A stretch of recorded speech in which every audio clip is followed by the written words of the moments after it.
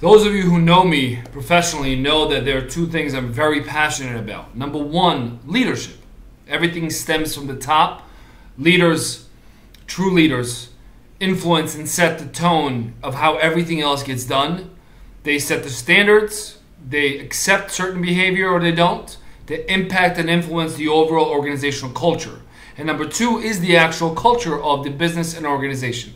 Because that is the ecosystem you're operating in. Those are the rules and norms that you're operating under. Because your culture will impact and influence everything you do.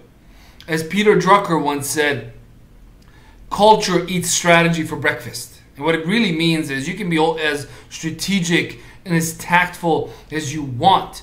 But if your environment, if your culture, if the people within your organization are not ready or not willing to accept that particular change or direction, chances are that long term you're not going to be successful. So ask yourself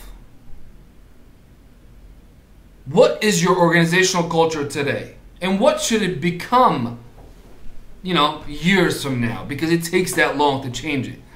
Are you operating in a business that is thoughtful, that respects and values diverse opinions and beliefs and ideas from all vertical positions or in horizontal positions as well?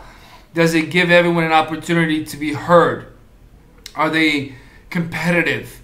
Do they have the best thinking in house? Do they know how to supplement and segment their knowledge where needed? Your culture, your leader is number one. And then two is your culture. Your culture is going to influence everything you do. No matter what you try to put in place, if the folks, if the environment is not ready for it, it's not going to succeed.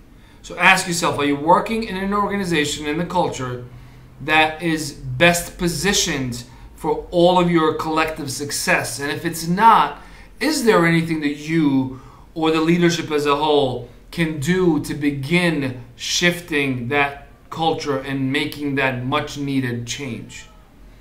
Have a wonderful day. I wish you all the best. Look around when you're looking for a new job, a new opportunity. I've already talked about this in the past. Hire your boss. Obviously, look at the leadership, but also do your best and do your research on the culture of the business and organization because you're going to live within it day in and day out, and it truly, truly matters. Have a wonderful day. Wish you all the best.